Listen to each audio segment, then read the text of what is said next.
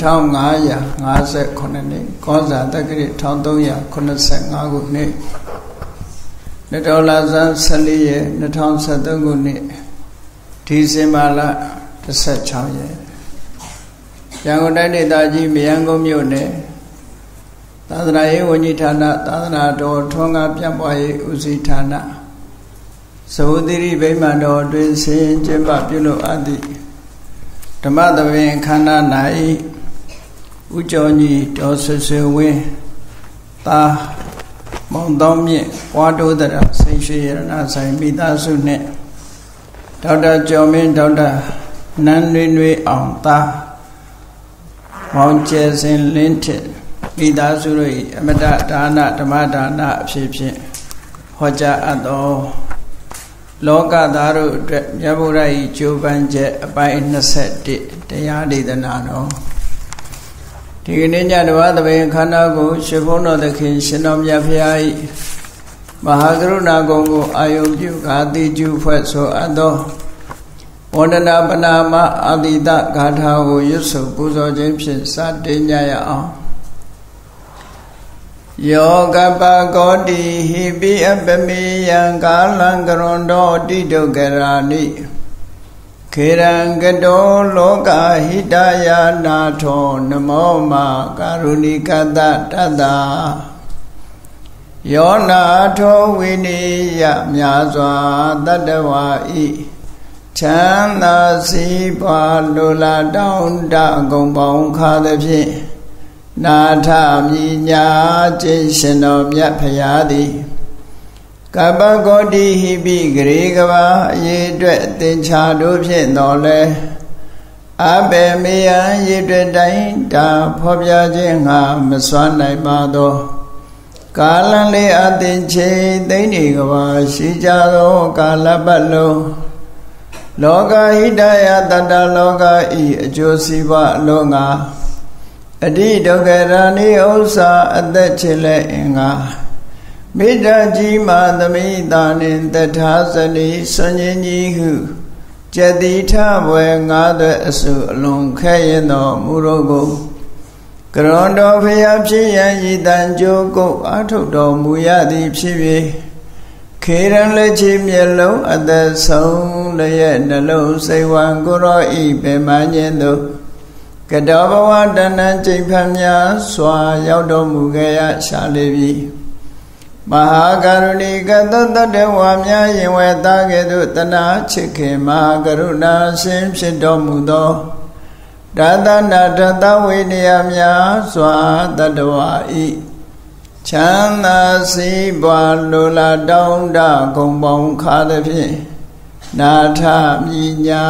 ထိုးရှင်တော်မြတ်ဖရာအားနမောယုတိပြောင်းပြောင်းမှန်ကိုလျော်၍ ကရောယုကျိုးရှိခိုးခြင်းသည်အထုဘဝတုစင်စစ်မသွေဖြစ်ပါစေတည်း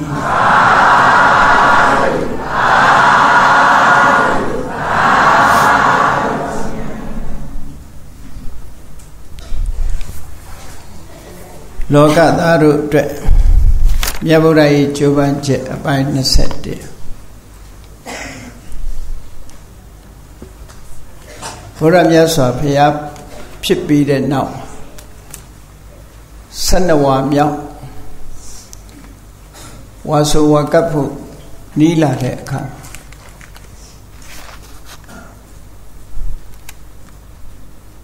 နာလာဆိုရက်ဧကနာလာဆိုရက်ပုံနာရွာကနေပြီးတော့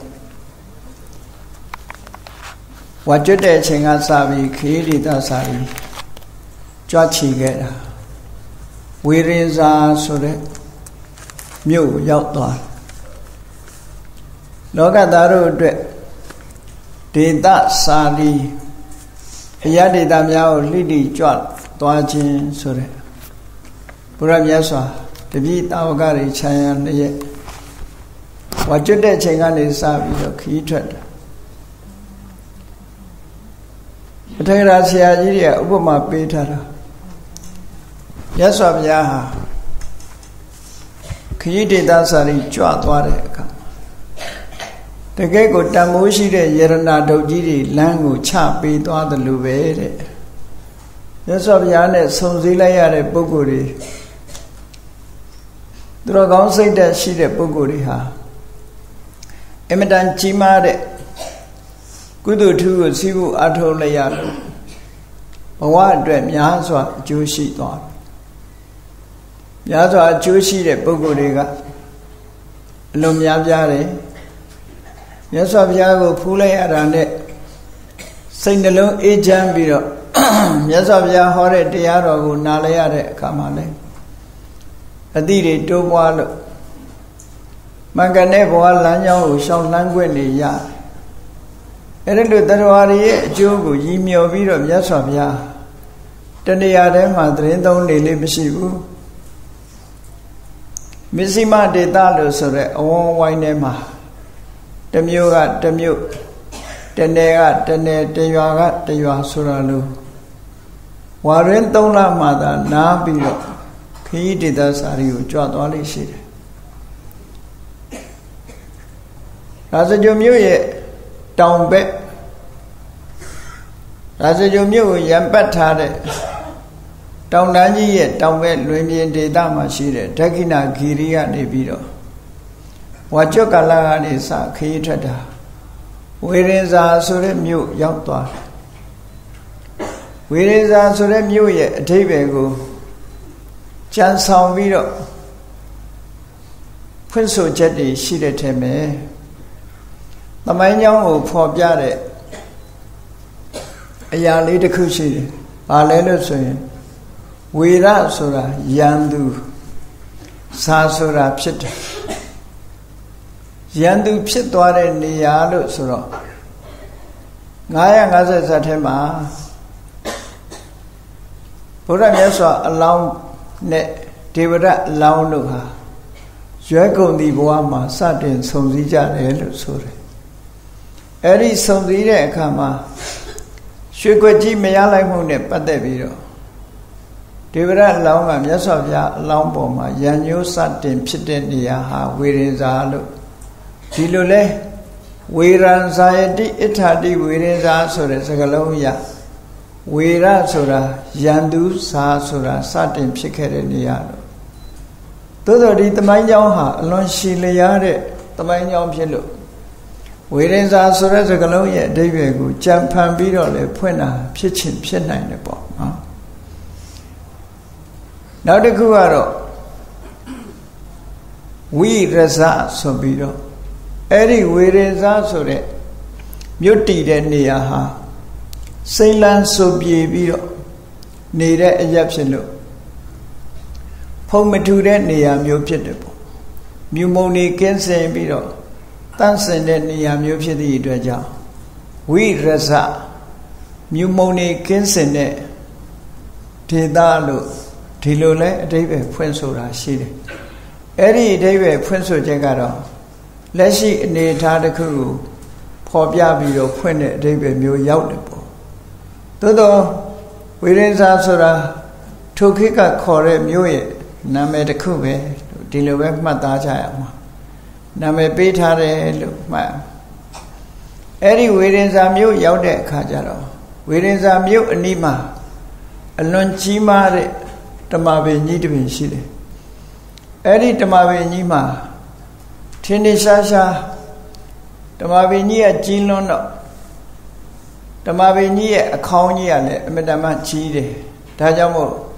နလေရုဆိုတဲ့နာမည်နဲ့ထင်ရှားတယ်တဲ့တနည်းအားဖြင့်ကတော့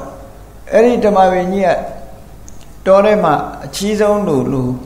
လွှမ်းမိုးပြီးတော့နေတဲ့ဓမ္မပင်ကြီးအုပ်ဆိုင်ဆိုင်ကြီး အဲ့ဒီဓမ္မပင်ကြီးကိုနလေရုလို့အမည်ရတဲ့ဘီလူကြီးကနေပြီးတော့အုပ်ဆိုးထားတယ်လို့ဒီလိုလဲဆိုတယ်လောကလူတွေဟာဖရာတရားတန်ခါယရဏသုံးပါးမပေါ်ထွန်းခင်ကကြီးမားတဲ့တစ်ပင်ကြီးတွေဆိုလို့ရှိရင်တော့တကိုးကြီးတဲ့နတ်တွေဘလူတွေရှိတယ်လို့ယုံကြည်ကြတာဒါထုံးစံလို့ဖြစ်နေတယ်ပေါ့နော်ဒါကြောင့်မို့လူတွေက အင်တန်ကြီးတဲ့တစ်ပင်ကြီးတွေကိုမတို့ရဲမထီရဲလေးစားကြကိုးကွယ်ကြလူတွေကနာမည်ပေးထားတာလည်းဖြစ်မှာပဲနလေရုဆိုတဲ့ရုပ်ကစိုးနတ်ကြီးသို့မဟုတ်ဘုံမစိုးနတ်ကြီးဘလူကြီးအုပ်ဆိုးတဲ့တပည့်ကြီးလို့အဲ့ဒီတပည့်ကြီးကအရေးအဝါဒအလွန်ကောင်းပြီးတော့နေတာအဲ့တော့ဓမ္မပင်ပေါက်တဲ့နေရာလို့ဆိုတဲ့အခါမှာအိုးဆိုင်ဆိုင်ဆိုတော့ မြန်မာနိုင်ငံအညာဒေသမှာဆိုရင်ဓမ္မပင်တွေကအလွန်လှတယ်မိုးများတဲ့အောက်ဒေသမှာဆိုရင်ဓမ္မပင်ကြီးတွေကရှည်ပြီးတော့ရိမ့်နှွဲ့နေလို့မလှဘူးအညာဒေသမှာဆိုလို့ရှိရင်ဓမ္မပင်ကအုပ်ဆိုင်ဆိုင်နဲ့ဓမ္မကိုအညာမြေနဲ့ဓမ္မဆိုတာလိုက်ဖက်တယ်လို့ပြောကြတယ်နော်အညာမှာပေါက်တဲ့ဓမ္မပင်ဟာအုပ်အုပ်ဆိုင်ဆိုင်နဲ့အလွန်ချိကောင်းတယ်ပေါ့တဘာဝကိုကလည်း အုပ်ဆိုင်ပြီးတော့ဝိုင်းဝိုင်းဆက်ဆက်ကြီးဖြစ်နေတတ်တယ်အဲ့တော့ဒီဝေဒင်စာဟာလည်းပဲမိုးကောင်းတဲ့ဒေတာဖြစ်ပုံမရဘူးအညာဒေတာလို့ပူပြင်းတဲ့ tropical zone လို့ခေါ်ရမယ့်နေရာမျိုးဖြစ်ကောင်းဖြစ်လိမ့်မယ်ဒါကြောင့်မို့လို့ကြီးမားတဲ့ဓမ္မပင်ကြီးတွေရှိတယ်လို့ဒါကစဉ်းစားကြည့်တာပါနော်အဲ့ဒါလို့မြတ်စွာဘုရားဟာဝေဒင်စာကြွတဲ့အခါမှာ ဘုရားအကြောင်းကံမရှိတဲ့နေရာဆိုရင်တောထဲကတစ်ပင်ရင်းတွေမှာသတင်းသုံးတွေရှိကြတယ်သို့တော့မြတ်စွာဘုရားဒေသစာရီကြွတဲ့နေရာတိုင်းလိုလိုပဲမြတ်စွာဘုရားရဲ့ခုံသတင်းဟာတနေ့လုံးဒေသတစ်ခုလုံးမစ္စည်းမဒေသကြီးတစ်ခုလုံးဟာလွှမ်းမိုးပြီးတော့အ ਨੇ ဆုံးသတင်းကြားထားကြတဲ့ပုဂ္ဂိုလ်တွေဆိုတော့မြတ်စွာဘုရား ရဲ့ခုံသတင်းတွေကိုမသိတဲ့ပုဂ္ဂိုလ်ဟာခါရှားရှားမြတ်စွာဘုရားကြွလာပြီဆိုရင် နေစရာတွေအဆောက်အဦတွေဆိုတာအစနစ်ဖြစ်နေတတ်တယ်ပေါ့သို့တော့ဒီအဆောက်အဦတွေဆိုတာလဲကောင်းကောင်းမွန်မွန်ဆောက်ထားတာတော့ဟုတ်ချင်မှလည်းဟုတ်မယ်နာရဝိတထေတို့လိုစနစ်တကျဆောက်ထားကြောင်မျိုးဟုတ်ချင်မှလည်းဟုတ်မယ်တမိုးတွင်မှာနေထိုင်ပြီးတော့သတင်းသုံးလို့ကောင်းတဲ့ အဆောက်အဦတွေလည်းတောထဲမှာဆောက်ပေးတာလည်းဖြစ်နိုင်တယ်ပေါ့ဒါကြောင့်မို့မြတ်စွာဘုရားကြွလာပြီဆိုလို့ရှိရင်တော့အစဉ်စဉ်သတင်းသုံးစရာနေရာတွေဟာတစ်ပင်တောတောင်တွေအနီးမှာကမ္မထမ်းကျောင်းဆောင်တွေလိုကျောင်းဆောင်လေးတွေအစဉ်စဉ်ဖြစ်နေပုံရအဲ့ဒီမှာမြတ်စွာဘုရားဟာဝေဒဇာပြည်ရောက်တဲ့အခါမှာဝေဒဇာမြို့နဲ့ခလန်းလန်းနလေရုဆိုတဲ့အုပ်ဆိုင်နေတဲ့တမာပင်ကြီးမှာ သတင်းသုံးနေထိုင်တယ်အဲ့ဒီလိုမြတ်စွာဘုရားရောက်လာပြီဆိုတာနဲ့သတင်းဟာချက်ချင်းပြန့်နှံ့သွားတယ်ပြန့်နှံ့သွားတော့ဝေဒင်္ဇာမျိုးကလူတွေဟာဟောအုံကြက်ကြက်အလူရဲ့မြတ်စွာဘုရားကိုဖူးမြော်ဖို့တွေးဆုံမှုထွက်လာကြတယ်အဲ့ဒီထွက်လာတဲ့အထဲမှာဘယ်သူပါတော့ဆိုဝေဒင်္ဇာမျိုးထဲမှာထင်ရှားတဲ့ပစ္စည်းဥစ္စာချမ်းသာကြွယ်ဝတဲ့ဥဒယဆိုတဲ့ပုံနာကြီးလေးပါလာတယ် စာပေကျမ်းဂန်ထဲမှာတော့သူ့ကိုဝေရင်စာပုံနာလို့ပဲနာမည်ပေးထားတယ်ဒါကတော့မှတ်တမ်းတင်တဲ့သဘောပါပဲသူ့နာမည်ကတော့ဥဒယလို့ခေါ်တယ်ဝေရင်စာမြို့မှာနေတာဖြစ်သောကြောင့်ဝေရင်စာမြို့သားဥဒယပုံနာလို့ဒီလိုခေါ်လို့ရတယ်ပေါ့သူကတော့ကြွယ်ဝချမ်းသာတဲ့သဘောရှိတယ်သို့တော့အသက်အရွယ်ကြီးလာပြီသူ့ရဲ့ခံယူချက်ကဘာရှိလဲလို့ဆိုရင် လူတွေဟာတဝုနဲ့တဝုအသက်အရွယ်ကြီးလာလို့ရှင်ခုနဝုဒ္ဓိဝယဝုဒ္ဓိဆိုတာလို့အသက်ကြီးတဲ့ပုဂ္ဂိုလ်ငယ်တဲ့ပုဂ္ဂိုလ်တွေကယုတ်သိလေးစားရမယ်လာတယ်ဆိုရင်နေရာကထပြီးတော့ကြိုရမယ်နော်နေရာထိုင်ခင်းပေးရမယ်အယုသိပေးရမယ်ဆိုတာဒါသူခံယူချက်ရှိပြမနာတွေပုံနာတွေရဲ့အတိုင်းဝိုင်းထဲမှာလည်းဒီလိုပဲ အသက်အရွယ်ကြီးတဲ့ပြမနာကြီးတွေလာပြီဆိုလို့ရှိရင်တော့ငယ်ရွယ်တဲ့ပုဂ္ဂိုလ်တွေကနေရာကထပေးကြမတ်တရကြတယ်မတ်တရပြီးတော့ခီးဥကျူဆိုကြတယ်အဲ့ဒါကိုစာပေကျမ်းကမှာပစ္စုတ်ထေတိပစ္စုတ်ထာတိကျွတ်တင်ပြီးတော့ထိုင်းနေတဲ့နေရာကနေထပြီးတော့ကြိုဆိုကြတာလို့ဒီလိုဆိုလို့တယ်ပေါ့ခဏခေတ်မှာလည်းပဲ လေးစားရတဲ့ပုဂ္ဂိုလ်တွေလာတယ်ဆိုလို့ရှိရင်တော့မတ်တရက်ပေးကြတယ်လွတ်တော်ထဲမှာလည်းပဲလွတ်တော်ဥက္ကဋ္ဌကြီးဝင်လာရင်တော့မတ်တရက်ပေးကြတယ်ထင်ပါတယ်အဲ့ဒီလိုပေါ့မတ်တရက်ပေးကြတာပေါ့နော်အဲ့ဒါကိုပစ္စုထာတိလို့ခေါ်တယ်မတရပေးကြတယ်အာတနေနနိမန္တေတိဆိုတော့အစင်းနဲ့နေရာမရှိရင်လည်းပဲကိုယ့်နေရာကိုပေးကြဖယ်ပေးကြအလေးပြုကြတယ်ဆိုတာဒါ ကြီးတဲ့အသက်အရွယ်ကြီးတဲ့ပုဂ္ဂိုလ်တွေကိုငယ်တဲ့ပုဂ္ဂိုလ်တွေကလိုက်နာဆောင်ရွက်လိရှိကြတဲ့အယုအသေးပေးကြတဲ့ထုံတန်းစင်လာတစ်ခုရှိတယ်ပေါ့အဲ့တော့မြတ်စွာဘုရားတရင်ကြီးနိုးတို့သာလာတွေ့တာတရင်ကြီးနိုးတို့လာတွေ့ပြီမဲ့လို့ဝေရိဇာပုံနာကြီးကဖះစီရောက်တဲ့အခါသူကအသက်တော်တော်လေးကြီးနေပြီ ဂေါရမမြတ်စွာဘုရားအဲ့ဒီချိန်မှာသက်တော်90 90လို့ဆိုပြီးမဲ့လို့မင်းသားလည်းဖြစ်တယ်ရွရည်ဆင်းရလည်းအတ္တမတောင်းတောင်းတင်းတင်းဆိုးဆိုးပြေးပြေးဆိုတော့ဟော30အရွယ်လောက်ပဲထင်ရမှာပေါ့အဲ့ဒါလို့ချောမောလှပပြီးအလွန်ရုပ်ဆင်းအင်္ဂါပြည့်ဝတဲ့ဘုရားလောင်းသူတို့မျက်စိထဲမှာတော့ငယ်ငယ်လို့ပဲထင်တယ်သို့တော်မြတ်စွာဘုရားအဲ့ဒီအချိန်မှာတက်တော်90ရှိနေပြီပေါ့ တက်တော်90ဆိုတာပြည့်ပြည့်ဖြိုးဖြိုးနဲ့ရုပ်ဆင်းဟာနုပြိုနေစေပဲရှိတယ်ပေါ့မြတ်စွာဘုရားမြင်လိုက်တဲ့အခါမှာသူ့ရဲ့ကြီးတဲ့ပုံနာအိုကြီးတွေလူအိုကြီးတွေကအောက်ကထိုင်ပြီးတော့ respect ပေးနေတယ်လေးစားသမှုပြုနေကြတယ်မြတ်စွာဘုရားကဘသူကမှလေးစားမှုမပြုဘဲနဲ့ခတ်တီတီကြီးထိုင်နေတာကိုသူစိတ်ထဲမှာမနှစ်မြို့နော်သူလာတော့လေထပြီးတော့မကြိုဆိုဘူးဆိုမကြိုက်ဖို့သူ မကြိုက်ဘူးအဲ့ပုံနာကြီးဖះနာလဲရောက်ရောသူဘာပြောတော့ဆိုတော့ရသော်ဘုရားကိုရန်တွေးတဲ့စကားကိုသူအရင်ပြောတယ်ဒါကြောင့်မို့ဘုရားဟာရောက်တဲ့နေရာတိုင်းမှာလေးစားမှုကိုခံရတာတော့မဟုတ်ဘူးပေါ့သူကဘာပြောတော့ဆိုရသော်ဘုရားနဲ့ပတ်သက်ပြီးတော့သူကကြိုတင်ပြီးတော့သတင်းတွေကြားထားတယ် ယဟန်ဂေါရမဟာကိုယ့်ရဲ့ကြီးတဲ့လူတွေလာရင်လဲနေရာကထပေးလိမရှိဘူးကြိုးဆိုလိလည်းမရှိဘူးနေရာဖယ်ပေးလိလည်းမရှိဘူးတဲ့လေးစားသမှုကိုလည်းမပြဘူးတဲ့အဲ့ဒါသူသတင်းချထားပြီးသားငကိုတဲ့သူလာတဲ့အခါကျတော့လေဖះကသူ့ဟာသူမိမ့်မိတ်ကြီးပဲထိုင်နေတာနော်သူ့ကိုလေးပေးပြီးတော့မပြောသူကအသက်ရွယ်ကြီးတယ် အဲ့တော့မတ်တက်ရက်ပြီးသူမကြည်မနှက်ဖြစ်ပြီးတော့မြတ်စွာဘုရားကိုလျှောက်တယ်သူကြားတယ်တဲ့နသမနောခောရမောဗျမဏီစိန်နေဝုတ်တေယဟန်ကောရမဟာအသက်ရွယ်ကြီးတဲ့အသက်ရွယ်ကြီးတဲ့ဗျမဏပုဂ္ဂိုလ်ကြီးတွေကိုနော်အရွယ်ကြီးတဲ့ဗျမဏပုဂ္ဂိုလ်ကြီးတွေကိုအယုသေးလည်းမပေးဘူး ခရီးဥလည်းမကြိုးဆိုဘူးနေရာလည်းမပေးဘူးလို့သူကြားတယ်တဲ့အခုလက်တွေ့ပဲတဲ့ဟုတ်သားပဲသူလာတာလည်းဘာမှကြိုးဆိုသမှုလည်းမပြုတ်ဘူးနေရာကလည်းထားမပေးဘူးဘယ်နေရာထိုင်မှလို့လည်းနေရာလည်းမပေးဘူးပေါ့အခုတော့လက်တွေ့ပဲငကိုယ်တော့ကသတင်းကြားရုံကြားတာအခုရဟန်းဂေါရမအသက်ကငယ်ငယ်ပဲရှိသေးတာ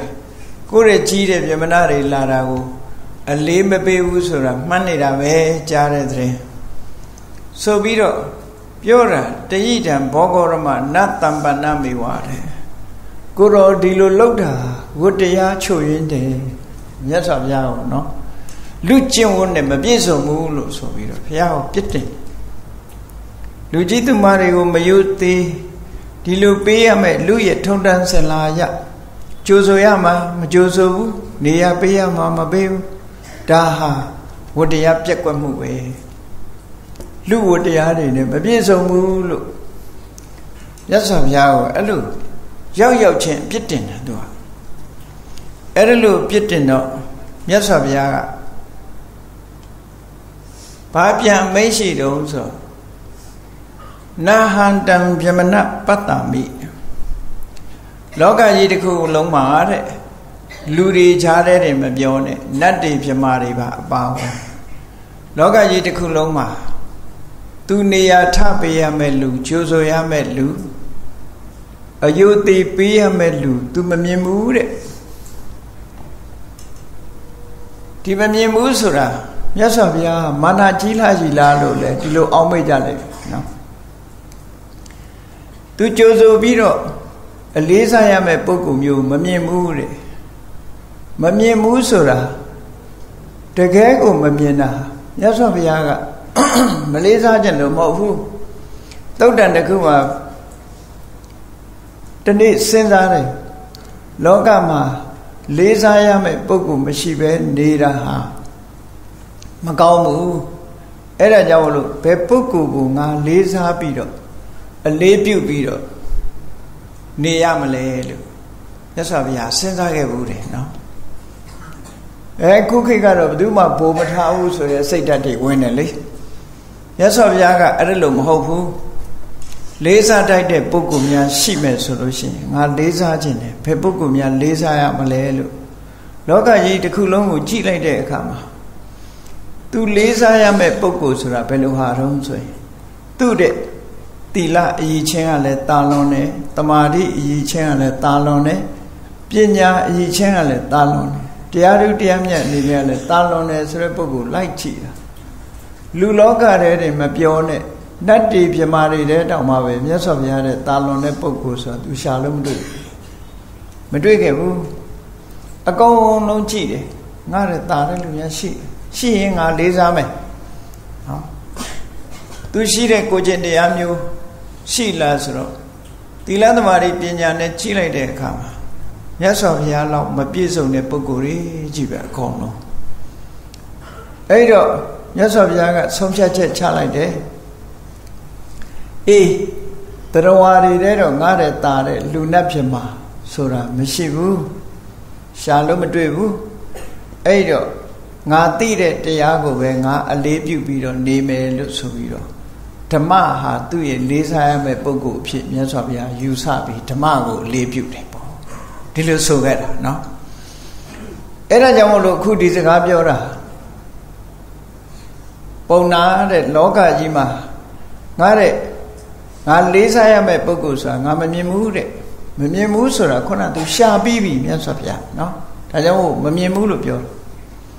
ငါမမြင်ဘူးတဲ့အကယ်၍ငါကနေပြီးတော့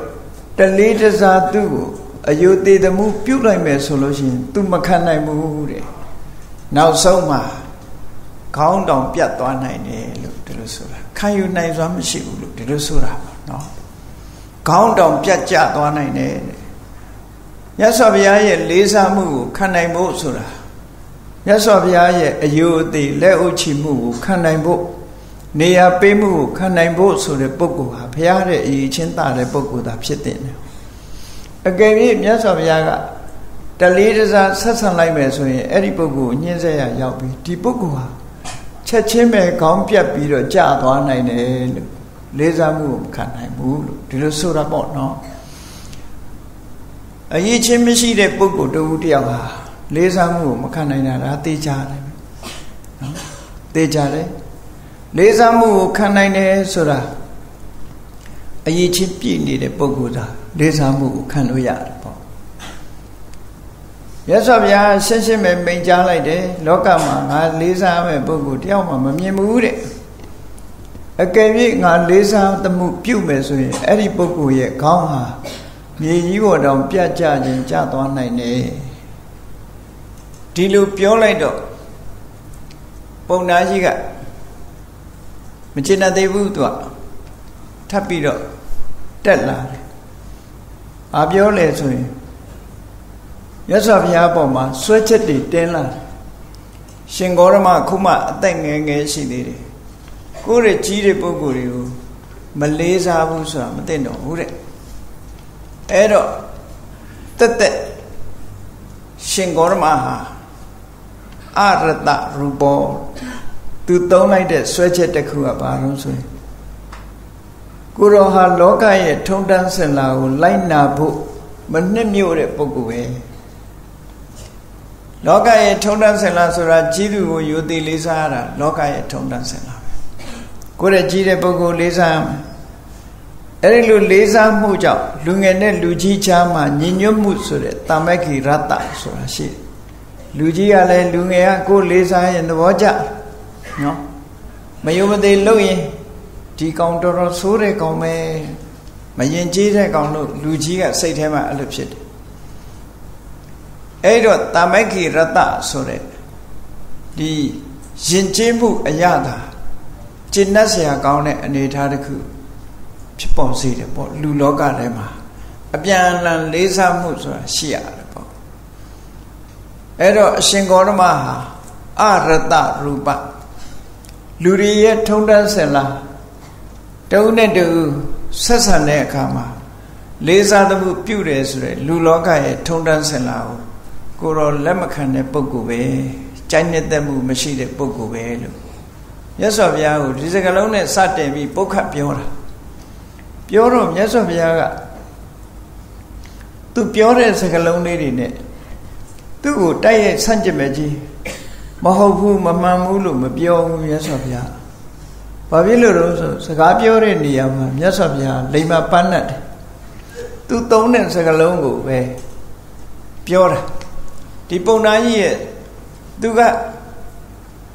ဒီလာကလေးကဘုရားကသူ့မကြိုတော့သူကနည်းနည်းနှာတင်းနေတယ်ပေါ့ခုခေတ်လို့ပြောပါဆိုနော်စိတ်แท้ကအောင့်နေတယ်အောင့်နေလို့သူပြောတာအဲ့တော့ ဒီလိုစိတ်แท้ကမကြင်မနဲ့ဖြစ်နေတဲ့လူကိုဆန့်ကျင်မဲ့ပြောလိုက်လို့ရှိရင်ဒေါသကိုဆွရရောက်တော့မှာပေါ့ပို့ပြီးတော့မကြင်မနဲ့ဖြစ်မှာပေါ့အဲ့ဒါကြောင့်မို့လို့တပိုင်းကသူပြောတဲ့စကားလေးကိုလက်ခံတဲ့သဘောမျိုးရသော်ဗျာပြောတယ်ဘယ်လိုပြောတော့ဆိုအရတရူပဒီကိုယ်တော်ဟာကျင့်တတ်မှုမရှိဘူးဆိုတဲ့နှစ်သက်ကျင့်တတ်မှု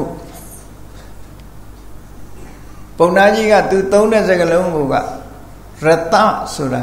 တာယာမှုရူပဆိုတာသဘောရတရူပတာယာမှုသဘောရှိတယ် negative နဲ့အရတရူပတာယာတဲ့သဘောမရှိဘူးလို့ဒီလိုအထိပ္ပယ်ထွက်တယ်ဟိုအဲ့စကားလုံးပုံနာကြီးဆိုလိုတဲ့တာယာမှုမရှိဘူးဆိုတာ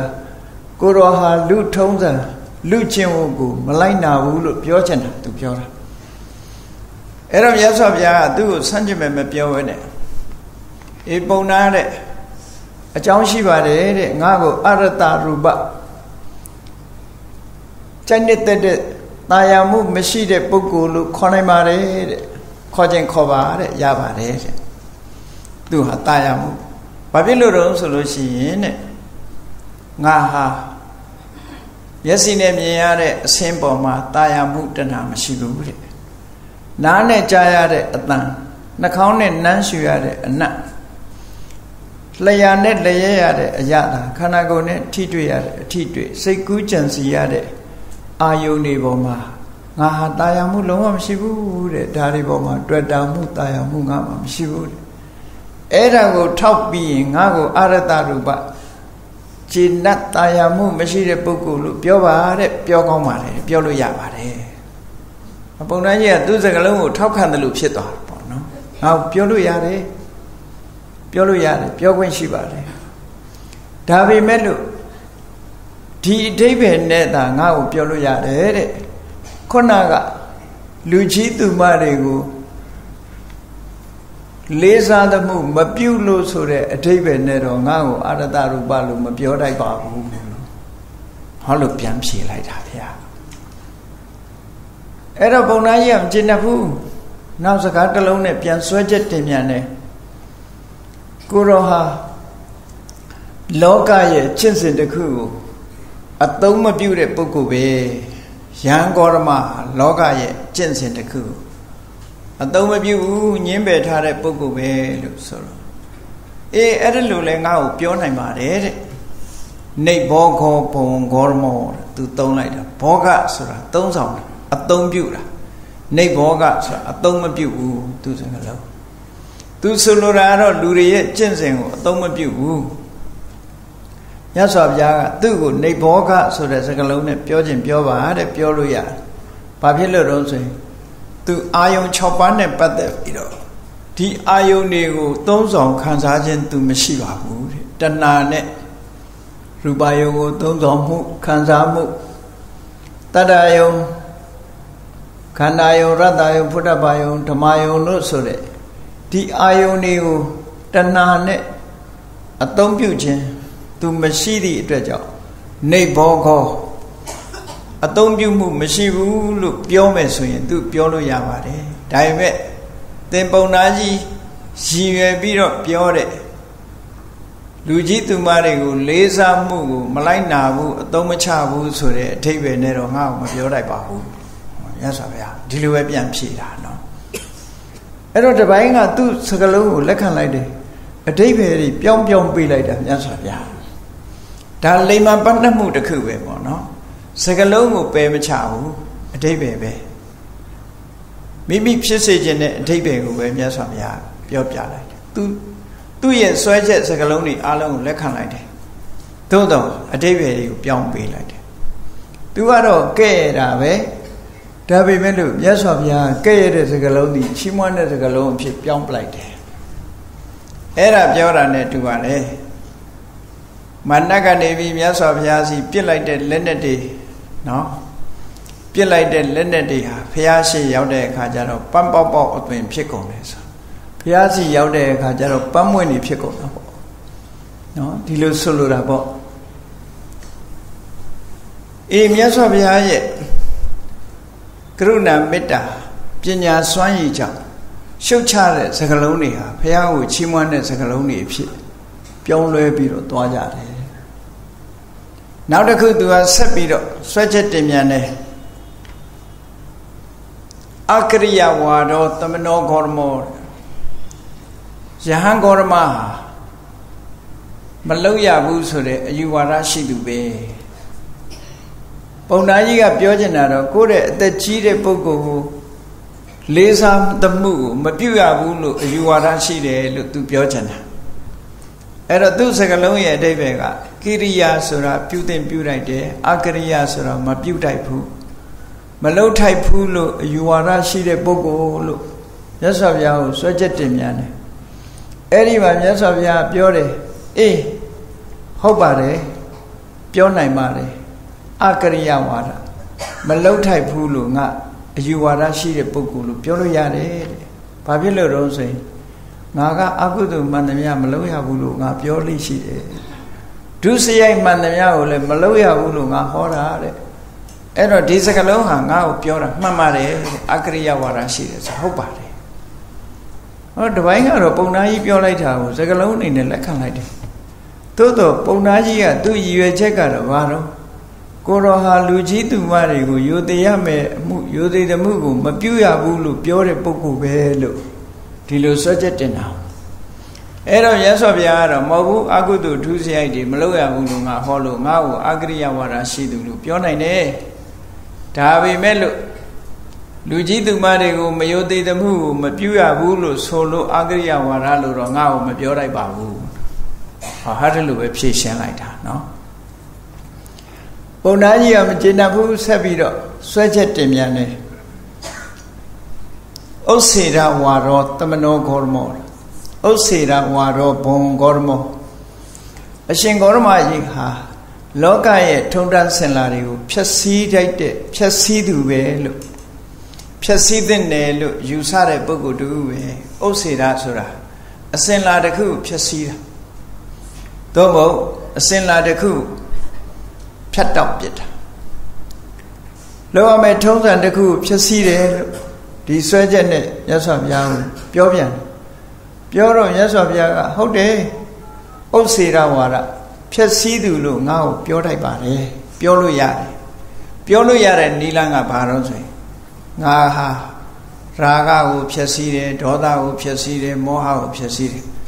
အကုသိုလ်အငြိကြေးတွေမှန်သမျှငါဖြစ်စည်းရမယ်လို့ဟောပြောတယ် ဒါကြောင့်မို့လို့သင်ပြောတာဥစ္စေရဝါဒဆိုတဲ့စကားလုံးဟာလည်းငါအတွက်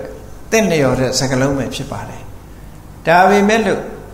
လူလောကထုံးစံကိုဖျက်ဆီးလို့ဥစ္စေရဝါဒလို့ပြောရင်တော့ဒါမပြောတတ်ဘူးပေါ့ဟောဒီလိုပဲဖြည့်ရှင်းလိုက်တာမြတ်စွာဘုရားအလွန်လိမ္မာပန်းတ်စွာစကားပြောတာမြတ်စွာဘုရားဖြောင်းမြောင်ကြီးဆန့်ကျင်ပြီးတော့ငင်းကွယ်ပြီးမပြောဘူးတပိုင်းကဝန်ခံလိုက်တယ် တပိုင်းကအတိတ်ပဲကိုလွှဲပြောင်းပေးလိုက်တယ်အဲ့ဒီမှာပုံသားကြီးသူတင်သမျှပုတ်ချခံရဒီလိုဖြစ်နော်သူ့ရဲ့ရွယ်ချက်တွေဟာဒီတလွဲရောက်ရောက်သွားတဲ့အခါမကျေနပ်ဘူးဆက်ပြီးတော့ပြောတယ်ဇေဂုတ်စီဘုံဂေါရမောအရှင်ဂေါရမဟာယွံမုံတတ်တဲ့ပုဂ္ဂိုလ်ကြီးပဲဇေခုတ်စီ ယွံမုံနေသူပြောချင်တာကတော့ဘာလို့လူကြီးသူမတွေကိုအယိုသေးပေးရမှာခရီးဦးကြိုဆိုရမှာနေရာပေးရမှာမနှစ်မြို့ဘူးယွန်းယွန်းမုံတဲ့ပုဂ္ဂိုလ်ပဲမလုတ်ဘူးဆိုတာကိုကြည့်ပြီးတော့သူကဒီလိုပြောတာအဲ့တော့မြတ်စွာဘုရားငါ့ကိုဇေကုတ်စီလို့ပြောနိုင်တဲ့နီးရှိပါတယ်တဲ့ပြောလို့ရပါတယ်ငါဟာမကောင်းမှုအကုသိုလ်မှန်သမျှတွေကိုယွန်းရှာမုန်းတည်သူဖြစ်ပါတယ်ဒုစရိုက်တရားတွေကိုယွန်းရှာမုန်းတည်သူဖြစ်တယ် ဒါကြောင့်မို့ငါ့ကိုယွန်းရှာမုန်းတည်သူလို့ပြောရင်ပြောလို့ရပါတယ်တဲ့သို့တော့လူကြီးသူမတွေကိုယိုသေးတမှုပြုတဲ့လုပ်ငန်းနဲ့ပတ်သက်ပြီးယွန်ရှာမုံတီလို့ဇေကုတ်စီလို့ပြောမယ်ဆိုရင်တော့မပြောတတ်ဘူးဒီလိုဆိုတာနော်များဆိုအဲ့တော့ပုံနာကြီးကရှေ့ဆက်ပြောပြန်တယ်သူကမြတ်စွာဘုရားဟာဒီလောကထုံတန်းစင်လာတွေကို तू မလိုက်နာဘူးပေါ့ तू သူ့မျက်စိထဲမှာ तू ကောင်းထဲမှာမလိုက်နာတဲ့ပုဂ္ဂိုလ်ဖြစ်တယ်မလိုက်နာတဲ့ပုဂ္ဂိုလ်ဖြစ်သည့်အတွက်ကြောင့်ဝေနယီကောဘုံကောရမောဘုံရှင်ကောရမနှိတ်ကွက်ပြီးတော့ပြစ်ဒဏ်ခတ်ထိုက်တဲ့ပုဂ္ဂိုလ်ဖြစ်တယ်ရှင်ကောရမနှိတ်ကွက်ရမယ်ဆုံးမဆုံးမတိုက်တဲ့ပုဂ္ဂိုလ်ဖြစ်နေတယ်ပေါ့ဝေနယီကဆုံးမတိုက်တယ်ဒီလှုပ်တင်တာတွေမလှုပ်တင်လို့ကိုရောကိုပြစ်ထန်ပေးပြီးတော့ဆုံးဖြတ်ဆုံးမရမယ်လို့ဆုံးမတိုက်တဲ့ပုဂ္ဂိုလ်လို့ ဒီလိုဆိုတော့မြတ်စွာဘုရားကငါ့ကိုဝေနေကလို့ဒီစကလုံးနဲ့ပြောလို့ရပါတယ်တဲ့ပြောလို့ရတဲ့နီလန်းရှိပါတယ်ငါဟာအကုသိုလ်မှန်သမျှကိုပယ်ဖြတ်ပစ်တာဖြစ်တယ်အကုသိုလ်မှန်သမျှကိုငါဖြောက်ဖယ်ဖယ်ရှားပစ်တယ်ရာဂကိုဖယ်ရှားတယ်ဒေါသကိုဖယ်ရှားတယ်မောဟကိုဖယ်ရှားတယ်မကောင်းတဲ့စိတ်ရဲ့အညစ်အကြေးမှန်သမျှကိုငါဖယ်ရှားတာဖြစ်တယ်ဒါကြောင့်မို့ငါ့ကိုဝေနီကလို့ပြောလို့ရတယ်တဲ့ ဒါပေမဲ့လို့ငါ့ကိုနှိတ်ကွက်ထိုက်တယ်ဆိုတဲ့စကားလုံးနဲ့အတိတ်ပဲနဲ့တော့ငါ့ကိုမပြောသင့်ဘူးဟောဒီလိုပြန်ဖြေတော့နောက်တစ်ခုဆွဲချက်ထပ်ပြောလိုက်ပြန်တယ်တပတ်တိဘဝံဂေါရမောလူကြီးသူမတွေကိုတယုတတိမလုတ်ခြင်းအပြင်လူကြီးတွေစိတ်ညစ်အောင်လုပ်တယ်ပေါ့အဲ့ဒါကိုတပတ်တိနော်စိတ်ပူအောင်လုပ်တယ်လူကြီးသူမတွေဆိုတာ သူတို့ကိုအယိုသေးမပေးဘူးဆိုရင်စိတ်ထဲမှာမကြေမနပ်ဖြစ်တာအဲ့ဒီမကြေမနပ်ဖြစ်တာစိတ်ပူစေတာပဲပေါ့နော်စိတ်ပူစေတယ်ဒါကြောင့်မို့တပတ်တိဘုံဂေါရမောဘုံအရှင်ဂေါရမဟာလူကြီးတွေကိုပူလောင်စေတတ်တဲ့ပုဂ္ဂိုလ်ပဲလို့ဒီလိုပြောတော့မြတ်စွာဘုရားကဟုတ်ပါတယ်တဲ့သူ့ကိုတပတ်တိလို့ခေါ်နိုင်တဲ့နီလန်းရှိပါတယ်အကြောင်းရှိပါတယ်။ ဘာလဲလို့ဆိုလို့ရှိရင်ငါဟာဒီတပဆိုတဲ့စိတ်နှလုံးကိုပူလောင်စေတတ်တဲ့ရာဂဒေါသမောဟကိလေသာတွေကိုငါဖျက်ဆီးထားတဲ့ပုဂ္ဂိုလ်ဖြစ်တယ်။ဒါကြောင့်မို့တပဆိုတဲ့ကိလေသာတွေကိုဖျက်ဆီးတဲ့အတ္တိဆိုတဲ့ဖျက်ဆီးတဲ့အဓိပ္ပာယ်ပေါ့။တပဆိုတဲ့ကိလေသာ အညစ်အကြေးတွေပူလောင်စေတတ်တဲ့စိတ်နှလုံးကိုပူလောင်စေတတ်တဲ့ကိလေသာအညစ်အကြေးတွေစိတ်ပူစေတတ်တဲ့အရာတွေမှန်သမျှငါဖယ်ရှားပြီးသားဖြစ်တယ်။ဒါကြောင့်မလို့ငါ့ကိုတပတ်တီလို့ပြောခြင်းပြောပါတဲ့။ဒါပေမဲ့လူကြီးတွေစိတ်ပူအောင်လုပ်တယ်ဆိုတဲ့အထိပ္ပယ်နဲ့တော့ငါမပြောတတ်ဘူး။ဟောဒီလိုဆိုတာနော်။အဲ့တော့သူကဆွဲချက်တွေတင်တာနောက်ဆုံးဆွဲချက်ကြတော့ဘာပြောလိုက်တုံးဆိုအပက္ခဘောဘဝံဂေါရမော ကပ္ဖဆိုတာကပ္ဖဆိုတာတရေကောင်းတယ်လို့အဓိပ္ပာယ်ရတယ်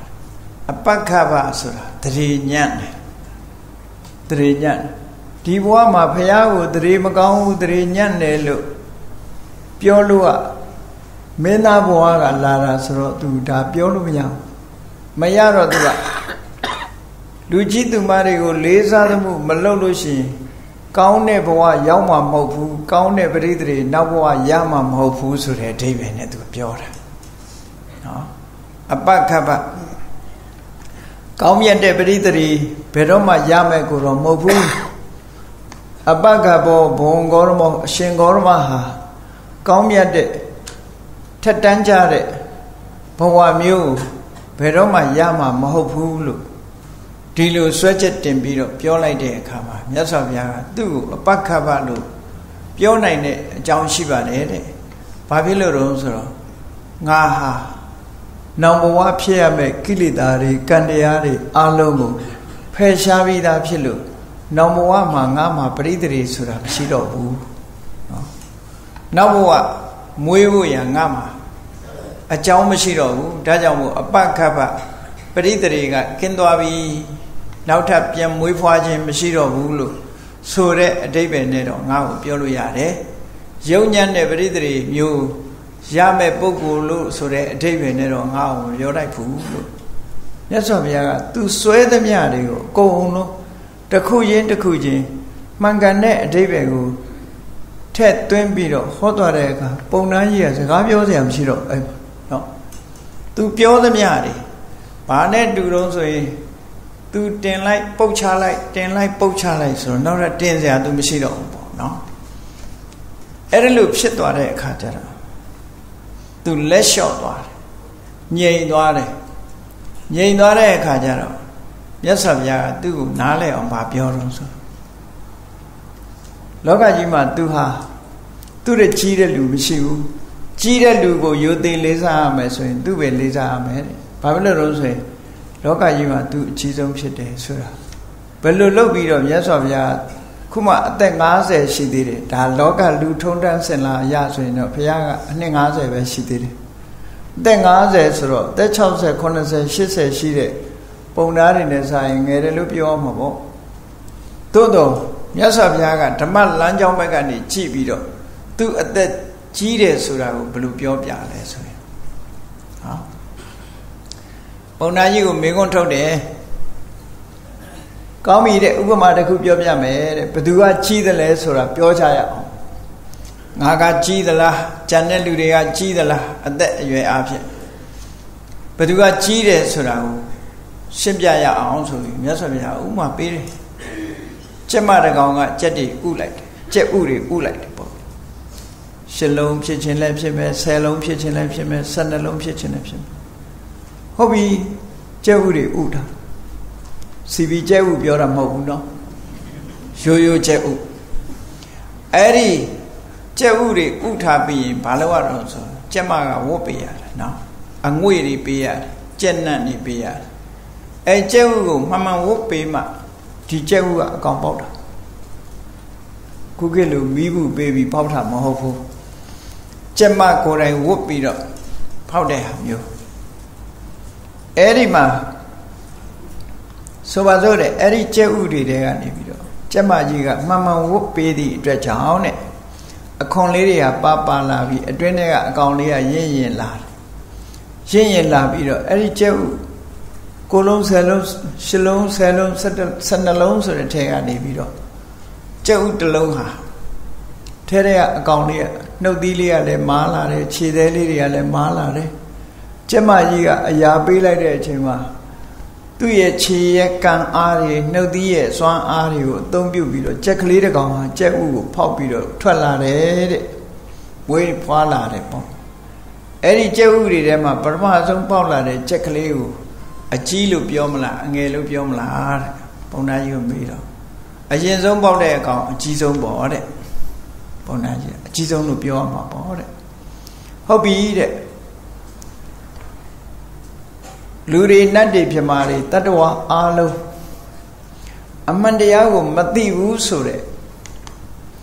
အဝိဇ္ဇာဆိုတဲ့ဥကွန်ကြီးကဖုံးထားလို့အမှန်တရားကိုမသိဘူးအလင်းမရဘူးအလုံးဟာအသိဉာဏ်ပိတ်ပိတ်ပေါင်းနေတဲ့အထဲမှာ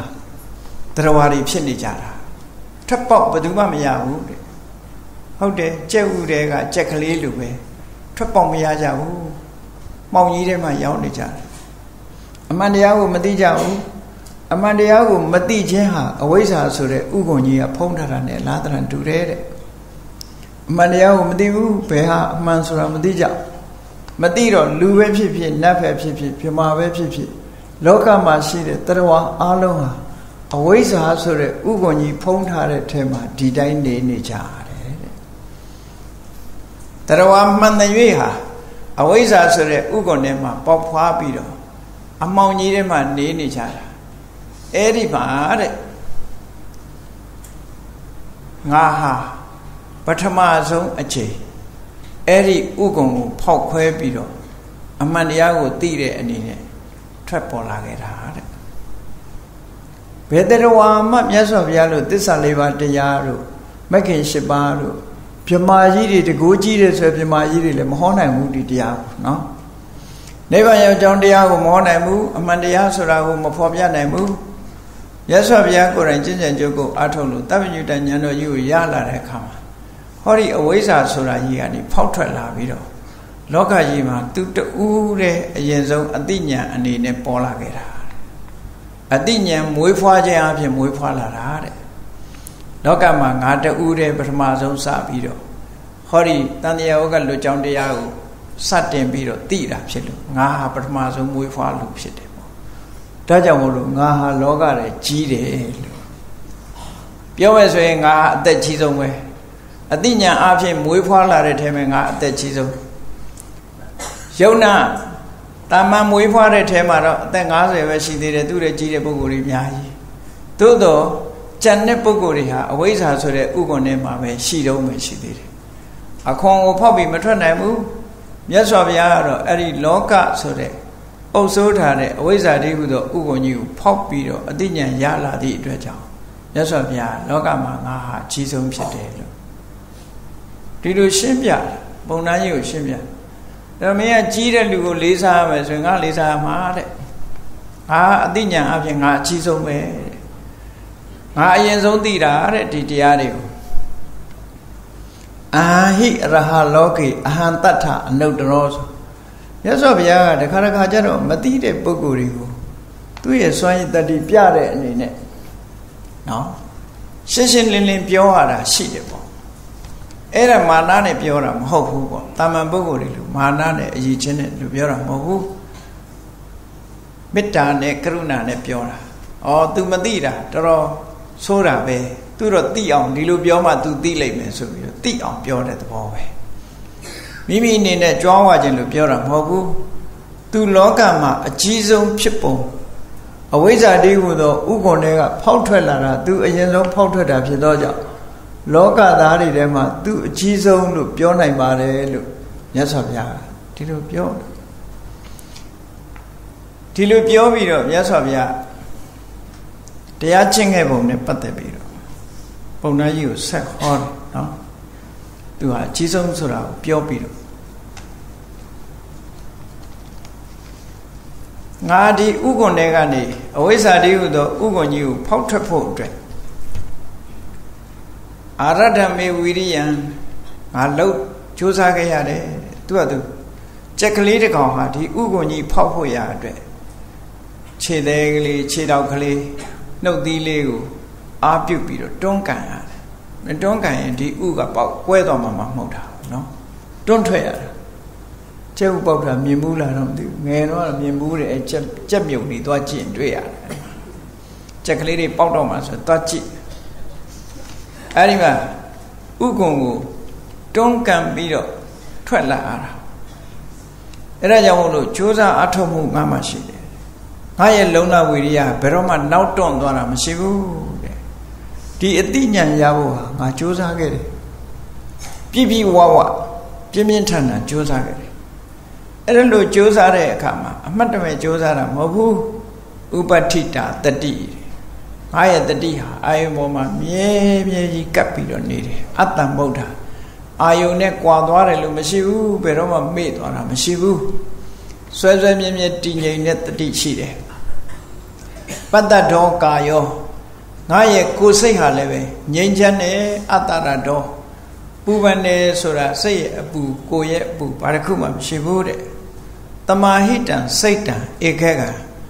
ငါရဲ့စိတ်လေးဟာလည်းပဲအာယုတခုတည်းပေါ်မှာဆွဲဆွဲမြဲမြဲတီးပြီးတော့လှုပ်ရှားရိမ့်ရိုင်ခြင်းမရှိဘူးဟော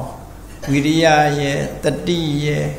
ပတ္တတိရဲ့တမာတိရဲ့ဆိုဒီတဘာဝတရား၄မျိုးမြတ်စွာဘုရား တပ္ပရကျင့်စဉ်ကျင့်လိုက်တဲ့အခါမှာဒီ၄မျိုးနဲ့သွားတာဟုတ်၄မျိုးနဲ့သွားလိုက်တာနော်ဝိရိယရှိရတယ်တတိရှိရတယ်တမာတိရှိရတယ်အဲ့ဒီတည်းပဲဒီတရားတွေနဲ့လှုပ်လိုက်တဲ့အခါမှာစိတ်နှလုံးအေးချမ်းမှုဆိုတဲ့ပူပန်ကင်းမှုဆိုတာနိဝရဏတရားတွေကင်းကွာသွားတဲ့သဘောကိုပြောတာပတ္တထပတ္တတိငြိမ်းအေးသွားတယ်အဲ့ဒါလို့ငြိမ်းအေးသွားသည့်အတွက်ကြောင့်မြတ်စွာဘုရားရဲ့စိတ်အာယုံလေးတစ်ခုတည်းပေါ်မှာ ကာမဂုဏ်အာယုန်นี่ကင်းစင်သွားပြီးတော့အကုသိုလ်တရားတွေនិဝရဏတရားတွေကင်းကွာလွတ်လပ်သွားလို့ဖြစ်ပေါ်လာတဲ့ပိဋိဒုက္ခကိုခံစားရတယ်ဝိဝေကသပိဋိဒုက္ခလို့ခေါ်တယ်ဝိဝေကဆိုတာကင်းကွာသွားတယ်လွတ်လပ်သွားတယ်အရင်တော့ကတော့မျက်စိနာနာလျာကိုဆိုတဲ့ဒီအင်္ဂါရက်တွေထဲမှာထင်ဟပ်လာတဲ့အစင်းအတန်အနတ်အရသာအထိတွေ့ဆိုတဲ့အာယုန်တွေပေါ်မှာ စိတ်ဟာကင်းကွာလွတ်လပ်မှုမရှိဘူးတမာရီကျင့်စဉ်တစ်ခုကိုကျင့်လိုက်တဲ့အခါကျတော့အဲ့ဓာတွေကလွတ်လပ်သွားတယ်ကာမဂုဏ်အာယုန်စိတ်တွေကကင်းကွာလွတ်လပ်သွားပြီးတော့ရရှိလာတဲ့နှစ်ချိုင်မှုကျင့်နှံ့မှုဆိုတဲ့ချမ်းသာပိဋိဒုက္ခဆိုတာကိုခံစားရအဲ့ဒါကိုပထမဇန်လို့ခေါ်တယ် အဲ့ဒီပထမဇန်ကိုတမာတိဆွမ်းအားမြင့်တင်လိုက်တဲ့အခါကျတော့တမာတိစပိတိဒုက္ခတဲ့စိတ်တည်ငြိမ်မှုတွေပိုရလာတဲ့အခါတမာတိကြောင့်ဖြစ်ပေါ်လာတဲ့ပိတိဒုက္ခကိုရရှိခံစားရပထမဆုံးကတော့အာယု၅ပါးကာမဂုဏ်တရားတွေဝေးသွားလို့ရတဲ့ပိတိဒုက္ခဒုတိယကျတော့တမာတိဆွမ်းအားကြောင့်ရလာတဲ့ပိတိဒုက္ခဒါဒုတိယဆံလို့ခေါ်တယ်နောက်တစ်ခါကျတော့ပိတိကိုဖယ်လိုက်တဲ့ပိတိမပါတဲ့ဒုက္ခ ပီတိဆိုတာတိမ့်တိမ့်တိမ့်တိမ့်နဲ့ဝမ်းသာတာကြည်ပါလားထီပေါက်တဲ့လူဝမ်းသာတယ်လို့ခုံတော်ခုံသိဥမယ်နော်ဝမ်းသာလုံးအကြည့်တော့မျက်ရည်ကျတယ်ပေါ့လားမတည်ငြိမ်ဘူးလေဝမ်းသာလို့မျက်ရည်ကျတာတွေရှိသေးတယ်အဲ့တော့ဒီပီတိဆိုတာ emotion လို့ခေါ်တယ်စိတ်ရဲ့လှုပ်ရှားမှုကြီးတစ်ခုပဲတိတ်ကြီးမားတဲ့စိတ်လှုပ်ရှားမှုကြီးကတမာရီကိုနှောက်ယှက်ပေးတယ်ဆိုသူဖယ်လိုက်တယ်နိဗ္ဗိတိကဒုက္ခပီတိမပါတဲ့ချမ်းသာဟာတည်ငြိမ်တဲ့ချမ်းသာတစ်ခုရတယ် ဒါတတ္တိယဆံလို့ခေါ်တယ်အေးအားလုံးကိုအဲ့ဒီချမ်းသာကိုတောင်လက်တည်ရှုနိုင်တဲ့အနေအထားမျိုးအေးချမ်းမှုမျိုးကြတော့ဥပိ္ပခဒုက္ခလို့ခေါ်တယ်စရုထဇံရသွားနော်တမာတိကိုအစဉ်စဉ်မြင့်လိုက်တဲ့အခါမှာဇံ၄ပါးရသွားခဲ့တယ်တဲ့ရသွားလိုက်တဲ့အခါမှာအဲ့ဒီကနေပြီးဖျားဖြစ်ခဲ့တဲ့အနေအထားတခုပြန်ပြောတာနော်ဖျားဖြစ်အောင်ကျင့်တာ နောက်ဆုံးရဲ့ကျင့်တဲ့အနေထားတစ်ခုဂေါရိပင်အောက်ကျင့်တဲ့ဟာကိုမြတ်စွာဘုရားပြန်ပြောတာအဲ့ဒီလိုရပြီစရုထဇံရပြီတဲ့အခါမှာတဲ့ပထမယံအတွင်းမှာစရုထဇံရဲ့တမာရီစွမ်းအားကိုယူပြီးတော့အဘိညာဉ်စိတ်တွေဖြစ်ပေါ်လာတဲ့အခါမှာအတိတ်ဘဝတွေကိုပြန်ပြောင်းပြီးတော့ဥလှည့်ပြီးကြည့်လိုက်တဲ့အခါမှာ ပုဗ္ဗေနိဝါဒနုတ္တိအဘိညာဉ်ဆိုတာရလာဘယ်ဘဝတုန်းကဘာဖြစ်ခဲ့တယ်ဘယ်ဘဝမှာဘာတွေဖြစ်ခဲ့တယ်ဆိုတာမနေ့တနေ့တုန်းကတွေးကြုံခဲ့တာခံစားရသလိုသို့မဟုတ်မနေ့တုန်းကအတွေ့အကြုံတွေပြန်ပြောရသလိုအတိတ်ဘဝအတွေ့အကြုံတွေကိုအကုန်ပြီးရှင်းရှင်းကြီးမြင်တဲ့အဘိညာဉ်တစ်မျိုးရလာတယ်အဲ့ဒါကိုပုဗ္ဗေနိဝါဒနုတ္တိအဘိညာဉ်လို့ခေါ်တယ်အဲ့ဒီပုဗ္ဗေနိဝါဒနုတ္တိ ပထမယံမှာပုဗ္ဗေနိဝါဒနုတ္တိအဘိညာဉ်ရတာဟာငါအနေနဲ့ဘာနဲ့ဥပမာတူတော့ဆိုရင်ပထမဆုံးအသိဉာဏ်တစ်ခုရခြင်းပဲအလင်းတစ်ခုပထမဆုံးရခြင်းပဲကြက်ကလေးတစ်ကောင်ဟာပထမဆုံးဥကိုခွဲပြီးတော့လောကကြီးရဲ့အလင်းကိုစမြင်ရတယ်လို့ပဲတဲ့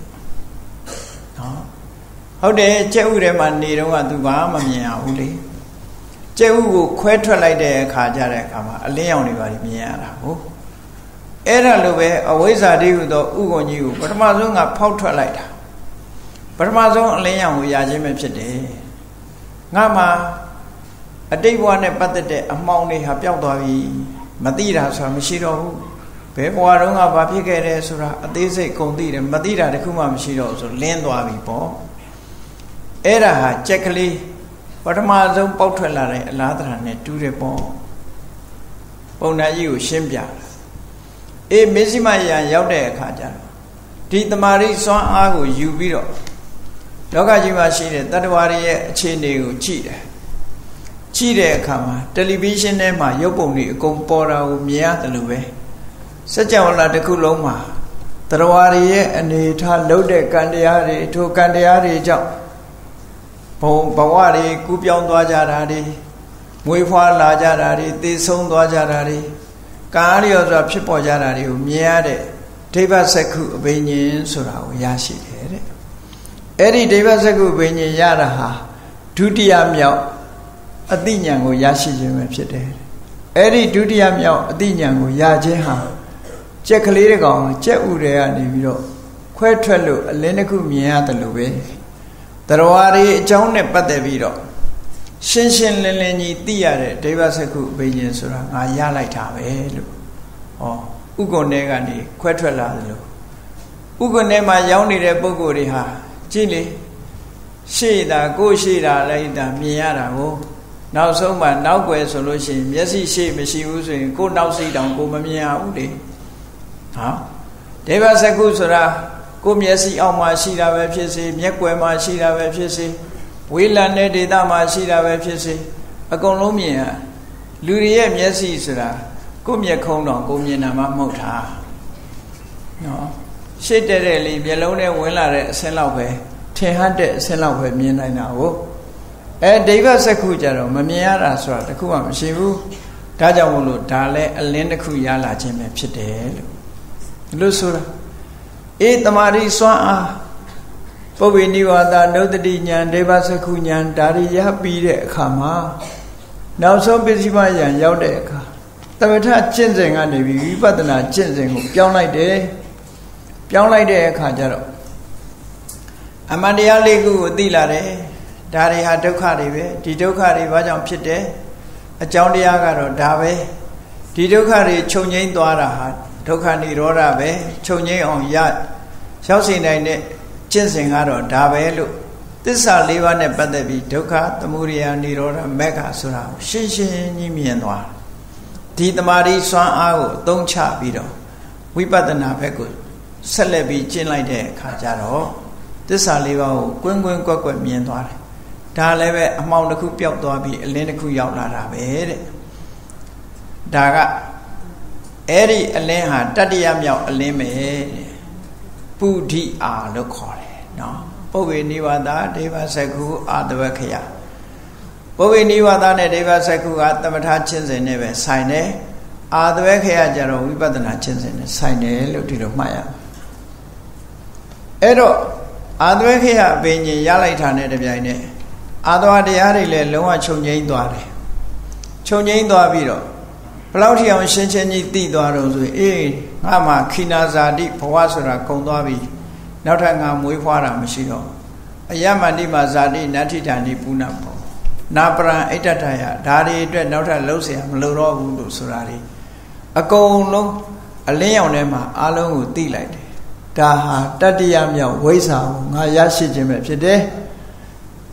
ကြက်ကလေးဟာဥက္ကုံတွေကနေပေါက်ထွက်လာလို့အလင်းကိုတွေ့ရတယ်လို့ပဲ ဒါတတ္တိယမြောင်ကအလွင်းတွေ့ရခြင်းပဲဖြစ်တယ်လို့အဲ့ဒီလိုမြတ်စွာဘုရားကပုံနာကြီးကိုသူ့ကိုယ်သူတစ်ဖက်ကကြည့်မယ်ဆိုလို့ရှိရင်တော့မြတ်စွာဘုရားဟာသူ့ကိုယ်သူကြက်ကလေးနဲ့နှိုင်းရှင်ထားတာဖြစ်နေတယ်ပေါ့နော်ဥပမာစကားကအင်မတန်မှဟိုမောက်မောက်မာမာလှုပ်ချင်တဲ့ပုံနာကြီးမြတ်စွာဘုရားကကြည့်လေဒီလိုကြက်ကလေးတစ်ကောင်တောင်အလင်းရောင်ဒီလိုရတာ ငါလည်းပဲအသိဉာဏ်တွေရလာတာကြက်ကလေးဟာအလင်းရောင်မြင်ရတယ်လို့ပဲငါလည်းအခုလိုအလင်းရောင်တွေကိုရလာတာဖြစ်တယ်လို့ဒီလိုရှင်းပြလိုက်တဲ့အခါကျတော့ငါမှာအတိတ်ဘဝနဲ့ပတ်သက်တဲ့မှောင်တာတွေမရှိဘူးတရားတွေအကြောင်းနဲ့ပတ်သက်ပြီးမှောင်တာမရှိဘူးသစ္စာလေးပါးနဲ့ပတ်သက်ပြီးငါမှာအမှောင်မရှိတော့ဘူးအလုံးကိုလင်းလင်းချင်းချင်းသိသွားပြီအလင်း၃မျိုးအတိညာ၃မျိုးကိုငါရသွားပြီလို့ဝိဇ္ဇာ၃ပါးရတဲ့အကြောင်း ရှင်းလဲပြလို့ရောအဲ့ဒီကြတော့မှပုံနာကြီးကအရှင်ဂေါရမဟာကြီးပါပေတယ်ဒီတိုင်းဆိုရင်အရှင်ဂေါရမလောကမှာအကြီးဆုံးဖြစ်ပါတယ်အမြတ်ဆုံးဖြစ်ပါတယ်လို့ဆိုပြီးတော့မြတ်စွာဘုရားကိုဝန်ချတောင်းပန်ပြီးတော့မှဖရာတရားတန်ခါရဏသုံးပါးကိုကိုးကွယ်စိကတ်သူဖြစ်သူကလျှောက်ထားတယ်ပထမတုန်းကတော့သူ မြတ်စွာဘုရားစီလာတဲ့အခါသူ့ကိုအယိုသေးမပေးလို့မကြည်ပနတ်ဖြစ်နေတာနော်နောက်ဆုံးကျတော့ကျင့်납ပြီးတော့သူကပဲအယိုသေးတွေပေးပြီးတော့မြတ်စွာဘုရားကိုဥသုံးကြီးချပြီးရှ िख ုံးနိုင်တဲ့အဆင့်ကိုရောက်သွားတယ်ပေါ့နော်အဲ့ဒါလို့ရရောက်သွားပြီးတော့ပုံနာကြီးကဘာလုပ်တုံးဆိုရှင်ဂေါရမတဲ့ဝေရင်စာမြို့မှာ ဒီဝါရင်းကာလသတင်းသုံးပါတဲ့ဆွမ်းကန်တာဝန်သူယူပါမယ်လို့ဆိုပြီးတော့ဘုန်းကြီးကအဲ့လိုလျှောက်ပြီးတော့မြတ်စွာဘုရားကိုဝါဆိုဖို့လျှောက်သွားတယ်လျှောက်တော့မြတ်စွာဘုရားကလည်းစိတ်စိတ်နေခြင်းဖြင့်လက်ခံလိုက်တယ်အဲ့ဒီမြတ်စွာဘုရား12ဝါမြောက်တက်တော်90အရွယ်မှာဝေရင်ဇာမြို့အနိပါမှာရှိတဲ့နလေတုပုစီမန္တလို့ခေါ်တယ်တမပင်ရှိတဲ့တောအုပ် ဟာကျောင်းဆောက်ပေးတဲ့စာအုပ်တွေရှိတဲ့နေရာမှာမြတ်စွာဘုရားဝါဆိုတယ်ပေါ့တတော်ထဲမှာဝါဆိုတယ်ကာမကောင်းခြင်းတော့ဘာဖြစ်တုံဆိုအဲ့ဒီနှစ်ကမိုးခေါင်တာနဲ့သွားတွေ့တယ်မိုးခေါင်နေဝေရေဇာတစ်မြို့လုံးဟာစိုက်လိုက်တဲ့အပင်တွေကအကုန်လုံးမိုးမရွာလို့6တွေ့သွားစဘာတွေစိုက်သည်မြအတိနံမရဘူးအကုန်လုံး6ကုန် ဘာပင်မှစိုက်လို့မရဘူးမိုးခေါင်ရွာရမယ့်အချိန်မရွာဘူးဖះဝါဆိုတဲ့နှစ်မှာအဲ့ဒါလိုဝေရင်စာဟာမိုးခေါင်မိုးခေါင်တော့ရှိသမျှအစားအစာလေးကိုမဲချပြီးတော့လူတွေကိုဝေချမ်းပြီးတော့စားတော့နေရတဲ့အနေအထားမျိုးရောက်သွားတယ်ဘယ်ဘုန်းကြီးဆွမ်းလောက်နိုင်တော့မှာတော့နော်ဘယ်သူကဆွမ်းမလောက်နိုင်တော့အလုံးကမလောက်မငါရှိတာလေးကိုမြတ်တာစားရတော့တည်တဲ့လူတွေလည်းသေးကုန် ယမှုရမောလားအီသီယိုးပီးယားပုံစံမျိုးတွေကမ္မထာယုတ်တွေပေါက်ကုန်မဝအဲ့ဒီခေတ်ကလည်းပဲတနေရာနဲ့တနေရာထောက်ပံ့ကူညီဖို့ဆိုတာခုခေတ်လိုမလွယ်ဘူးဝေးလံတဲ့ဒေသဖြစ်တော့အဲ့ဒီဝေရင်စာပတ်ဝန်းကျင်ဒေသကြီးကမိုးခေါင်ပြီးတော့စိုက်လို့ပြိုးလို့မရတဲ့အခါမှာလူတွေကအစာရည်စာရှားပါလို့ဆုံးလောက်မဲ့ပုဂ္ဂိုလ်လည်းမရှိဘူးပုံနာကြီးကလည်းမိုးခေါင်လို့ဓမ္မရဲ့သူ့လူတွေ ဒီစိုက်ပျိုးရေးကိစ္စတွေနဲ့အလုပ်တွေများပြီးတော့သူကဖះကိုဆွန်းတစွန်းလောက်မို့တော့တတိမရဘူးမေ့နေတာဘလောက်မေ့တုံးဆို3လလည်းနဲ့မေ့တာမဟုတ်ဖះကိုဝါဆိုဖို့ပင့်ထားပြီးတော့ဖះကိုဆွန်းတစွန်းမှမလောင်းသူအဲ့တော့ဘယ်လိုလုပ်ရတော့ဆိုမြတ်စွာဘုရားလဲ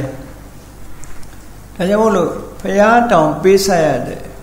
မြတ်စွာဘုရားတောင်ပေးဆက်ရတဲ့ကံကြမ္မာဝကျွေးများဆိုတာထဲပဲဝိရိဇာပြည်မှာမြတ်စွာဘုရားတရင်သုံးနေတဲ့အချိန်မိုးကောင်ရေရှားဖြစ်ပြီးတော့တိဏ္ဍနေစိုက်ပြုလို့မရတဲ့အခါအစာရေစာရှားပါဟိုးဥဒ္ဒရာပထလို့ဆိုရယ်မြောက်ပိုင်းဒေသကနေပြီးတော့မြောက်ပိုင်းဆိုတော့ဟိုအိန္ဒုမြေနာဖြစ်ပါလိမ့်မယ်အိန္ဒုမြေဆိုတာအခုပัญจပြည်နယ်တို့ဘာလို့နာမှာအိန္ဒုမြေရှိတယ်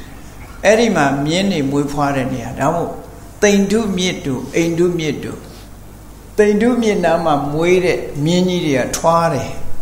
ထွားကြိုင်းတယ်မြင်းချောတယ်အဲ့ဒါမြင်းကုံတယ်တွေကအဲ့ဒီကလာတာညမာစာပေထဲမှာတိန်တော်မြင်းတိန်တော်မြင်းဆိုတာလူတွေကနတ်မြင်းမြအောင်မိတ်မဟုတ်ဘူးအိန္ဒုမြစ်ကမွေးတယ်အဲ့ဒီမှာမွေးတဲ့မြင်းကြီးတွေကိုပြောတာလာမြင်းကြီးတွေထွားထွားကြိုင်းကြိုင်းကြီးတွေပေါ့ အဲ့ဒီကမြင်းကုံတဲ့တွေဟာမြင်း900နဲ့ဒီဘက်ကိုလာပြီးတော့မြင်းရောင်းဝယ်လုပ်ဖို့မြင်းတွေမောင်းလာတာမောင်းလာတဲ့အခါကျတော့မြင်းတွေစားဖို့ဆိုပြီးတော့သူတို့ဂျုံတွေကိုပိုးထုတ်မှဆိုလို့တဝက်တစ်ပြက်ပြုတ်ပြီးပါပွိုင်း rice ဆိုတာမျိုးလောက်လာတာပေါ့ပါပွိုင်းဆိုတာတဝက်တစ်ပြက်ပြုတ်ထားတာဂျုံတွေကိုပြုတ်လာပြုတ်လာပြီးတော့မြင်းစာခြုံစွားတွေရှူးလာ အဲ့တော့တန်ဃာတွေကဘယ်သူမှဆွန်းလောင်းမဲမရှိတော့သူတို့ကမြင်းဝိုင်းကြီးချပြီးတော့အဲ့ဒီမှာနေတာမြတ်စွာဘုရားနဲ့ကလည်းယဟန်900ပါတယ်ဘုရားနဲ့အတူယဟန်900ပါတယ်မြို့တွေကလူတွေကသူတို့တော်စားဖို့အနိုင်နိုင်ဆိုတော့ဘယ်သူမှဆွန်းမလောင်းဟိုပင့်သွားတဲ့ပုံသားကြီးကလည်းမေ့နေတယ်သူ့လုံးနဲ့သူရှုပ်ပြီးတော့ဘုရားဆွန်းလောင်းရမှာဆွန်းသားလည်းတစ်ခါမှမပင့်ဘူးတဲ့နော်အဲ့ဒါနဲ့ရဟန်းတော်တွေက မြို့ထဲမှာဆွမ်းခံလို့သွားတဲ့အခါကျတော့ဆေးထားတဲ့တပိတ်အတိုင်းပဲဘယ်သူမှဆွမ်းလောင်းမဲ့လူမရှိတော့ဘယ်သွားတော့ဆိုမြို့ပြင်မှာမြင်းနေဟိုမြင်းကုံတဲ့တွေနေတဲ့မြင်းဝိုင်းပေါ့မြင်းနေနေတဲ့နေရာမြင်းတက်ချထားတဲ့နေရာအဲ့ဒီမြင်းဝိုင်းကိုသွားကြအတ္တမန္တလလို့ခေါ်တယ်အယောင်းဝယ်လုံးမဲ့နေရာကြီးကိုမြင်းစေးဆိုတာဆိုမြင်းစေးကိုသွားကြတယ်အဲ့ဒီသွားတော့မှမြင်းတွေကျွေးတဲ့ ဂျုံနေတဲ့ကနေပြီးတော့ယဟန်တွေကိုသူတို့ကတရားတရားကောင်းတဲ့လူတွေဆိုကိုတော်တွေကြွလာတဲ့အခါတခြားလောင်းစရာမရှိတော့မြင်းစာစပါးလေးတွေကိုလောင်းလိုက်ကြတယ်ဂျုံလေးတွေကိုလောင်းအဲ့ဒီဂျုံချမ်းကြီးတွေကိုယဟန်တော်တွေကဖုံးပေးကြဒီတိုင်းစားလို့မရတော့ဘာဖြစ်တုံဆိုတော့မယုတ်ဆုံလေးတွေနဲ့ထောင်းပြီးတော့အဲ့ဒါကိုရေလေးနဲ့မြှော့ပြီးဖုံးပေးကြနော်မယုတ်ဆုံနဲ့ထောင်းရသေးတာနော် ထောင်းတဲ့အခါကျတော့အတန်ပလန်ကြောင်းရောက်တဲ့အခါငရုတ်ဆုံထောင်းတဲ့အတန်လေးတွေငရုတ်ဆုံဘယ်ရရလဲတော့မသိဘူးအဲဒီမှာငရုတ်ဆုံတန်ကြားတော့မြတ်စွာဘုရားရှန္ဒနာကိုမေးတယ်ဒုံဒုံဒုံဒုံနဲ့ဘာလို့ကြတဲ့အတန်တွေတော့ဆိုရဟန်းတော်တွေဗျာတဲ့မြင်းစာစဘာကိုခြုံကိုယူပြီးတော့ထောင်းတဲ့အတန်ပါလို့ဆိုတော့မြတ်စွာဘုရားဗာပြောတော့ဆိုအေးတာရုတာရုအနန္ဒာတဲ့မင်းတို့ဟာသူတော်ကောင်းနေ မင်းတို့အနိုင်ရပါပေတယ်တဲ့မြတ်စွာဘုရားဒီလိုပြောလိုက်တော့ဝမ်းမြောက်ဝမ်းသာပြောလိုက်တော့မင်းတို့မင်းတို့နိုင်ရအနိုင်ရလိုက်ပါတယ်ဆိုတော့ဘာကိုရည်ရွယ်ပြောတာတုံးလို့ဆိုတော့အဲ့ဒီယဟန်တွေဟာဘုရားနောက်ကပါလာတဲ့ယဟန်တွေဟာအခုဝါလဲဆိုပြီးပြီစားစရာဆွန့်ခံလို့လည်းမရဘူးတဏှာပြောင်းဖို့ဘယ်သူမှစိတ်ကူမထားကြဘူးနော်ဝါဝါဖြတ်ပြီးဝါချိုးပြီးတော့တနေရာတစ်မြို့ ဆွမ်းကွမ်းပေါ်တဲ့နေရာပြောင်းကြမယ်လို့ဘယ်သူမှစိတ်မကူးကြရတာလေးနဲ့မြတ်တရောင်ရဲကြမယ်ဆိုတဲ့စိတ်နဲ့ပဲမြင်းစာစဝါးလေးကိုပဲဝါဖြစ်ုံလေးထောင်းထောင်းပြီးတော့ဒီလိုစားကြတော့မြတ်စွာဘုရားချီးမွမ်းတယ်အေးသူတော်ကောင်းတွေမင်းတို့လောဘကိုနိုင်ကြတာပဲအိဇာစာရလို့ဆိုတဲ့ဒီမဟုတ်တဲ့နီလန်းနဲ့အသက်မွေးဝမ်းကြောင်မှုတွေ တရားဓမ္မတွေမလှူခြင်းလှူခြင်းအောင်ပြောတာမျိုးတွေမလုပ်ဖက်နဲ့ရိုးရိုးတန်တန်တကယ်ကို symbol like ကိုရတာလေးနဲ့ကျင့်납ပြီးတော့တရားနဲ့နေနိုင်ကြလို့မြတ်စွာဘုရားကအာနန္ဒာတဲ့မင်းတို့သူတော်ကောင်းတွေပြီးပြီးလောဘတွေကိုနိုင်လိုက်ကြပါပေတယ်နိုင်ကြပါပေတယ်လို့ချီးမွမ်းပြီးအေးနောက်မျိုးဆက်တစ်တွေကြတော့ တလေးထံပေါင်းဆောင်းတောင်မှအထင်သေးကြလိမ့်မယ်တဲ့နော်မကောင်းဘူးဆိုပြီးတော့နော်မြင်းကြုံစဘာမပြောနဲ့မြင်းမြင်းနေစားတဲ့ကြုံစဘာဆိုတာအင်တမကျမ်းတာအင်တန်ကျမ်းတယ်ကျမ်းတယ်ဆိုတာကိုချင်းစာကြည့်ဘုန်းကြီးတို့2004ခုနှစ်လောက်ကစပြီးတော့ဂျာမနီနိုင်ငံကို၅ခေါက်သွားဘူးတယ် သူတို့ဂျာမနီကနေပြင့်ပြီးတော့ဝိရမသင်္นานတက်တာအဲ့ဒီနှစ်ဆင်သွားတဲ့အခါမှာသူတို့စီကပေါင်မုံတွေကဒီကဗန်းမုံလို့ပေါ့အလုံးတွေမားတာမှတော်တော်ကိုမားဓာတ်နဲ့လှီးမနှဲကြိတ်လှီးရတယ်အဲ့တော့ဒီကနေ့တော့ပေါင်မုံလေးဒီမနေ့အာယုံစာအတွက်ကပ္ပိယကပေါင်မုံလေးဝယ်ပေးထားတာအဲ့ဒါကို နွားနှုတ်လေးနဲ့ငါနှစ်ချက်တော့ကုံအောင်စားမယ်ဆိုတစ်ချက်နဲ့တင်ပါညောင်းတော့မွားနိုင်အဲ့ဒါလောက်ထီအောင်မာတာအောချလောက်အောင်ကိုမာတယ်တကယ်မာတာအဲ့ဒီအပြော့ရှာပါဆိုတော့နိုင်ဝက်တနိုင်လောက်ရှာမှာပေါမုံပြော့ပြော့ရတယ်ဗမာပြည်မှာတော့ပြော့ပြော့တွေပေါ်တယ်သူတို့စီမှာတအားမာတယ်လူထုရင်တောင်မှနာသွားလောက်တယ်အဲ့ဒါအဲ့ဒါလောက်ထီအောင်သူတို့ဂျုံညမ်းနေနဲ့လှုပ်တဲ့ပေါမုံတွေအပြော့ဆိုအမတန်ရှာရခက်တယ် သူတို့နိုင်ငံအဲ့တော့ခြုံချမ်းစားရတယ်ဆိုတော့ဟုတ်ပါပဲငရုတ်စုံလေးနဲ့ထောင်းမှနှမို့ဝါနိုင်မှာမဟုတ်ဘူးငရုတ်စုံလေးနဲ့ထောင်းမြတ်စွာဘုရားကြတော့ရှင်အနန္ဒာကဆွမ်းခံလို့ရလာတဲ့ခြုံကလေးကိုမြတ်စွာဘုရားဖုံးမွေးနိုင်အောင်လို့ဆိုပြီးတော့ဟိုကြာကြာနာနာကြောက်တုံးကလေးနဲ့ကြိတ်ပြီးတော့မှအဲ့ထဲပဲတကားလေးတွေပြားလေးတွေနဲ့ ထည့်ပြီးတော့မြတ်စွာဘုရားကိုကတ်တယ်တဲ့အဲ့တော့မြတ်စွာဘုရားလည်းတဝါတွင်လုံးအဲ့ဒီမြင်းစာချုပ်မဲစာဖုံးမိရတယ်နော်အဲ့ဒီလိုစင်စင်ရဲရဲနေကြရတဲ့အနေအထားမျိုးတွေရှိတယ်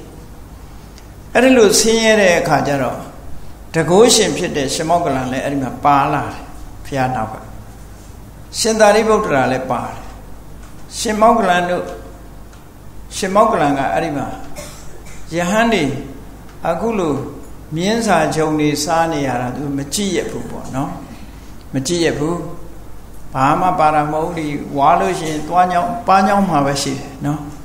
မြင်းစာကြုံဆိုင်ပါညောင်းမှာပဲရှိတယ်ဒါမှရုပ်စုံနဲ့ထောင်းပြီးရေနဲ့မျောချရတဲ့အနေထားမျိုး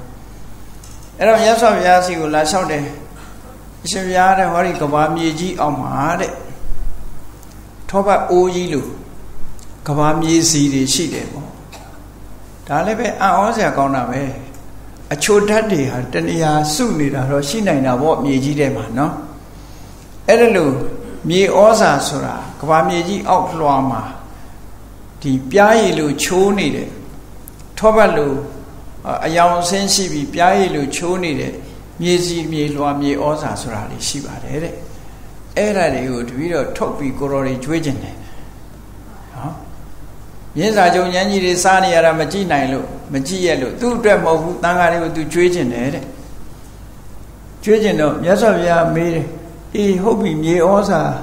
တကယ်အောက်ကနေပြီးတော့မြေစီမြေလွှာမြေဩဇာအင်မတန်မှချိုတဲ့ပြားရည်လို့ချိုးနေတဲ့အရာကိုမင်းဘယ်လိုထုတ်မှာတော့လို့မြေကြီးဝရှိတဲ့တတ္တဝါတွေဘယ်လိုလုံးမှာတော့လို့ဆိုမြတ်စွာဘုရားမေးတော့ တပည့်တော်လက်တစ်ဖက်ကိုကဘာမြေကြီးလို့ဖန်ဆင်းလိုက်မယ်တဲ့ဖန်ဆင်းပြီးလူတွေအဲ့ဒီပေါ်ပြောင်းတင်လိုက်မယ်တဲ့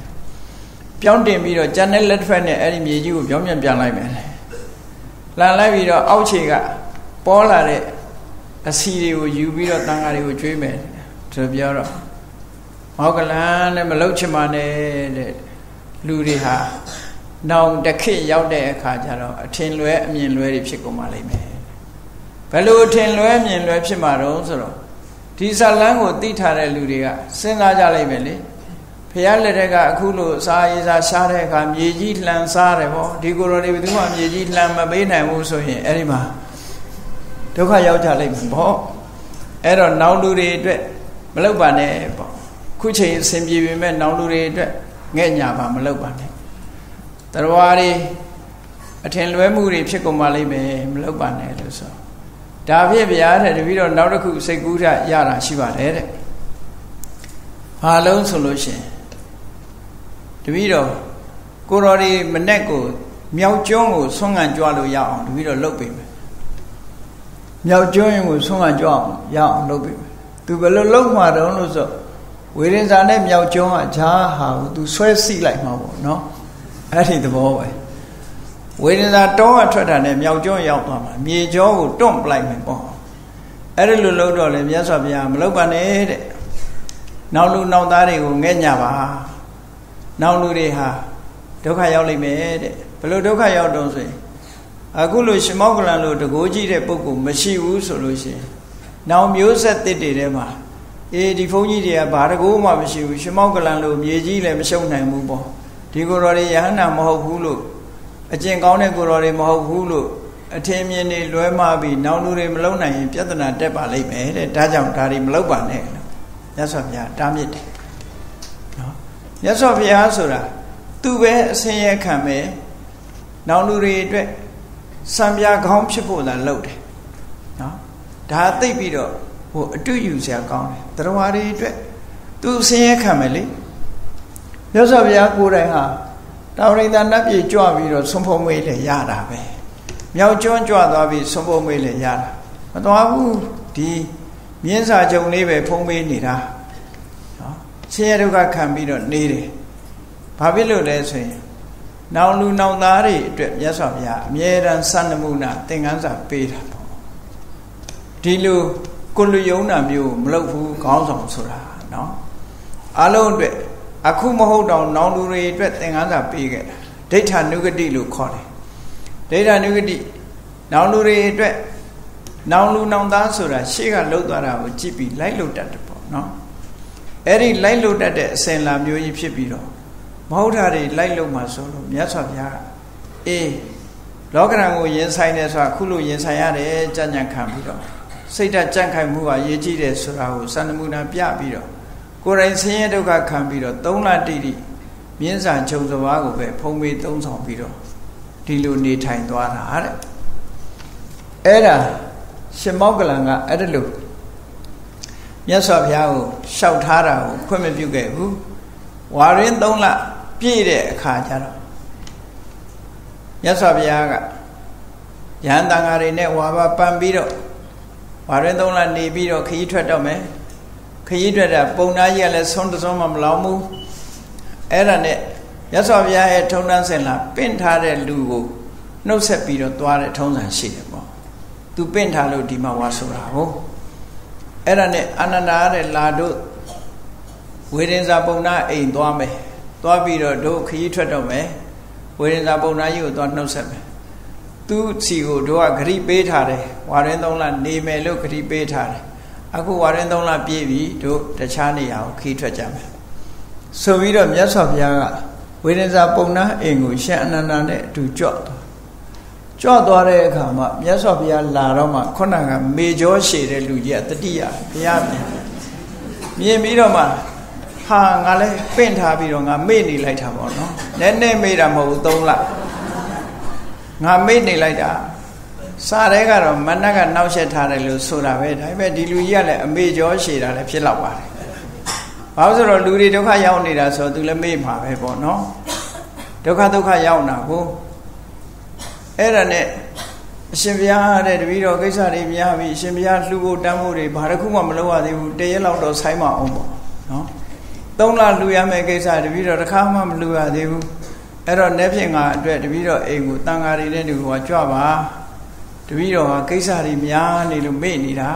နေ့ဖြင့်ငါတော့လက်ခံမအောင်သိခံမအောင်ဆိုတော့မြတ်စွာဘုရားကတရက်ပိုးနေပြီးနောက်ရက်ကျတော့သူ့အိမ်ကြွကြွတော့မှသူကမြတ်စွာဘုရားကိုသင်္ကန်းသုံးတယ်ယဟန်တွေကိုသင်္ကန်းတစုံစီနဲ့လှူပြီးတော့ဆွမ်းကွမ်းလှူဒန်းဆက်ကပ်ပြီးတော့မြတ်စွာဘုရားကအဲ့ဒီမှာရေစက်ချတရားဟောပြီးတော့ဒီပုံနာကြီးဟာ မြတ်စွာဘုရားတရားနာပြီးတဲ့နောက်မှာသူကပို့ပြီးတော့ယုံကြည်တရားတွေပွားပြီးအကျွတ်တရားရသွားတယ်တဲ့အဲ့ဒီမှာမြတ်စွာဘုရားကတော်ဝါတွင်လုံးစင်စင်ရဲသတင်းသုံးရတဲ့ကိုတော်တွေအတွက်ခရီးထွက်တဲ့အခါမှာဝေးလံတဲ့ဒေသတွေမသွားတော့ဘဲနဲ့ဈားထဲမှာရှိတဲ့ကန္နာကုဇာတို့သင်္ကတ္တတို့ပယာကပဋိဋ္ဌာတို့ဆိုတာတွေကိုမဝင်တော့ဘဲနဲ့ရှောင်လွှဲပြီးအဖြောင့်သွားလိုက်တာ ပယာကပဋိဋ္ဌာရောက်တဲ့အခါခင်းကမြစ်ကိုဖြတ်ပြီးတော့ဗာရဏသီဘက်ကိုသွားဗာရဏသီကနေပြီးတော့ဝေသာလီဘက်ကိုခရီးထွက်သွားတယ်လို့စာထဲမှာခရီးစဉ်လေးတစ်ခုဖော်ပြထားတယ်ပေါ့အဲ့ဒါဗုဒ္ဓမြတ်စွာလောကသားတွေရဲ့အတွက်အခုလို့ပင်မဆင်းရဲခံပြီးစန္ဒမှုပြင်နာပြတာကတခုအများတရဝတွေရဲ့အကျိုးသင်္ကန်းစာယူစိန်သောငါကိုယ်တိုင်ဆင်းရဲခံပြီးလောကရန်ကိုရင်ဆိုင်ခဲ့တာ ဒီလိုရင်ဆိုင်ပြီးတော့ပုံနာကြီးကိုလည်းတီးခံပြီးတော့စိတ်ရှည်ရှည်နဲ့ရှင်းပြပြီးပုံနာကြီးအသိဉာဏ်ရအောင်ဆုံးမသွန်သင်ခဲ့တာဟာလောကသားတို့ရဲ့အတွက်ကြိုးပမ်းအထောက်ချက်ပဲဖြစ်တယ်ဆိုတာကိုအလုံးနာယူမှတ်သားပြီးတော့ဘုရားမြတ်စွာရဲ့ဂုဏ်တော်ကျေးဇူးတော်တွေကိုအာယုံပြုကဘုရားနုတ္တိဘာဝနာတရားဖြစ်ပွားအောင်ကြိုးစားနိုင်ကြပါစေကုန်သတည်း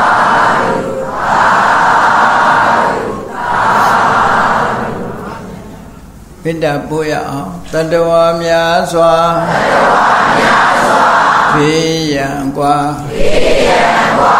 ချမ်းသာကြပါစေချမ်းသာကြပါစေတတဝါများစွာတတဝါများစွာဘေးရန်กว่าဘေးရန်กว่าချမ်းသာကြပါစေချမ်းသာကြပါစေ မေတ္တာဤချမ်းမေတ္တာဤချမ်းသုံးငါဖြံသုံးငါဖြံငြိမ်းချမ်းကြပါစေငြိမ်းချမ်းကြပါစေမေတ္တာဤချမ်းမေတ္တာဤချမ်းသုံးငါဖြံသုံးငါဖြံငြိမ်းချမ်းကြပါစေငြိမ်းချမ်းကြပါစေသက်ရှိချမ်းမာသက်ရှိချမ်းမာစိတ်ချမ်းသာစိတ်ချမ်းသာလိုရဆန္ဒပြေပါစေလိုရ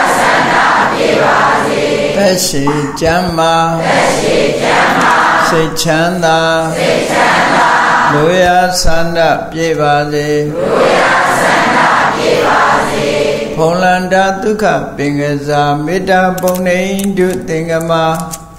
မနောတရတိတဝေတံဘဝယန္တုဒုက္ခနကမေတ္တာပုံနေတုသင်္ကမ စုပေါင်းပုအမေတ္တာတဟုရောင်ယူပါဝင်ငွေလာမင်းနှင့်ရောင်ခြင်းရှေယုံပေါင်းဆောင်ရခြင်းကြောင့်သဗ္ဗေတံကျွင်းမဲ့ဥတုံ လုံးစုံများစွာတတ္တဝါတို့ဤမနောတရတိမြင်မြတ်ဖြူစင်အေးကြည်လင်းသည့်ရေစင်ပြည့်တင်းစိတ်နှလုံးတည်ဟုသောရေအိုင်ကြီးအတွင်၌ဒုက္ခပင်ကစားစင်ထာဝရအေမြကြည်သာတာယာပွင့်လန်းချမ်းသာဒုက္ခအရိဟုသော ကုမုဒ္ဒရာကြာပန်တို့သည် ဖုံးလန္တာဝန္တာရွှင်မြူဝုံမုံလူလျက်ကြည်နူးဝဲကြုံဖူးပွင့်ရအကုန်သည်ဖြစ်၍သူကဏကလေအောင်လေးတဲ့ရောရှက်သင်ပြန်ပိတိတိဟုသောယနန်တို့သည်ဘဝယံတုကောင်းစွာမဲ့သွေကြိုင်လည်၍နေကြပါစေကုန်တည်း